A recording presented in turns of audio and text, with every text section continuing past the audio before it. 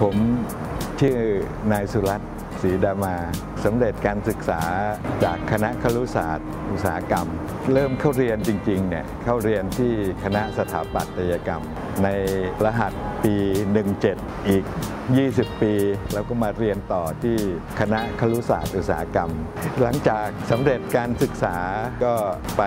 ทำงานตามโรงงาน ตามออกแบบผลิตภัณฑ์ต่างๆเนี่ยเยอะจนได้มาทำอาชีพงานรับเหมาก่อสร้าง พอสำเร็จการศึกษาจากคณะครุศาสตร์ก็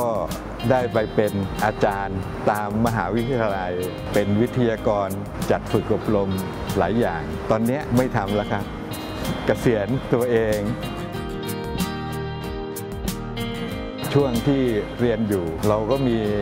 ความสนุกความสบายใจมีความประทับใจในธรรมชาติอีก 20 ปีต่อมาเข้าศึกษาที่คณะครุศาสตร์ ก็ทำให้รู้สึกว่าการพัฒนาของสถาบัน การพัฒนาของวิชาการต่างๆเนี่ยเปลี่ยนไปมากลาดกระบังก็ยังเป็นแนวหน้าของเครื่องไม้เครื่องมือให้นักศึกษาอย่างมากอยู่เหมือนเดิม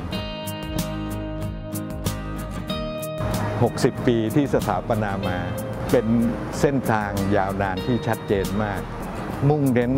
ไปทางวิทยาการ เล็งเห็นความเปลี่ยนแปลงของโลกได้มากขึ้น ประสบการณ์ 60 ปีนำพาวิทยาการต่างๆ มาสู่ชุมชน มาสู่ประเทศ เป็นความภาคภูมิใจอย่างยิ่งของสิทธิ์เก่า เท่าที่เห็นลาดกระบังมานี่ก็เห็นทิศทางที่ลาดกระบังมุ่งมานี้ถูกต้องพัฒนาเปลี่ยนแปลงไปตามยุคสมัยนำหน้าทั้งความคิดทั้งวิทยาการ เป็นสิ่งที่เราภาคภูมิใจ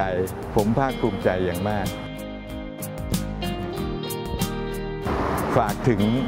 สิทธิ์ปัจจุบันเวลาในวัยเด็กๆ มีใครถามว่าอยากเป็นอะไร ทุกคนก็ตอบได้ว่าอยากเป็นอะไร พอเข้าเรียนต่อในระดับมหาวิทยาลัย เราก็ได้เรียนมากขึ้น แล้วปรากฏว่ากลายเป็นว่าสิ่งที่ตัวเองไม่ชอบ เราก็ต้องปรับตัวหาแนวทางใหม่ ไปเรียนในสาขาอื่นสำเร็จการศึกษาแล้วไม่ใช่ว่าเราจะสามารถประกอบอาชีพในลักษณะของสาขาที่เราเรียนมา มันอาจจะต้องไปทำงานในด้านอื่น ๆ ซึ่งตอนนั้นเราก็เลือกอีกว่าใช่อาชีพที่ชอบไหมถ้าไม่ใช่อาชีพที่ชอบเราก็ต้องเปลี่ยน แต่ว่าไม่ว่าในช่วงชีวิตใด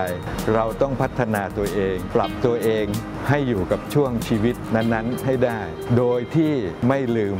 เป้าหมายของชีวิตที่เราตั้งไว้ฝากให้น้องๆทุกคนไว้แค่นี้ครับ